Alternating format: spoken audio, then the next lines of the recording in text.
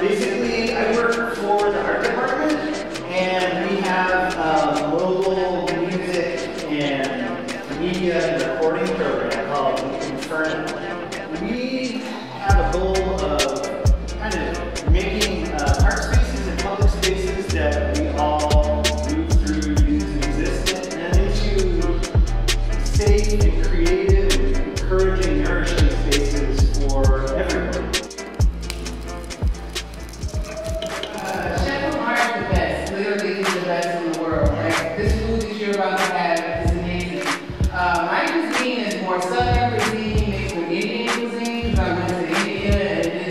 over there.